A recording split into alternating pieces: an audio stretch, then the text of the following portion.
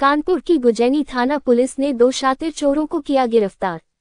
दो शातिर चोर के पास बरामद की गई चोरी की बैटरी शातिर चोर सीसीटीवी कैमरे में हुए थे।